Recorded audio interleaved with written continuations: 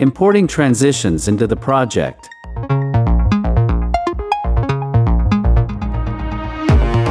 Drag and drop on the timeline. Activate collapse transformations. Cut the footage along the edge of the transition. Select and copy. Open the transition and open the Add Footage composition. Paste.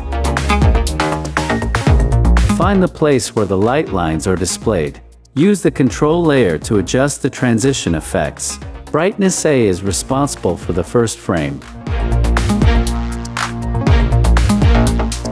Brightness B for the second. Similarly, hue and saturation.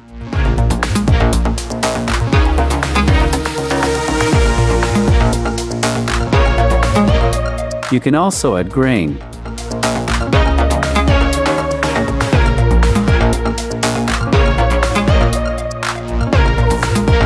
Done. Transitions work at different frame rates.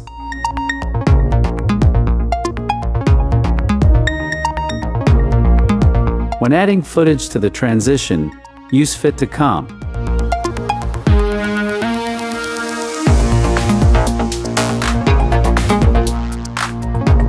For a different resolution, you need to change the scale.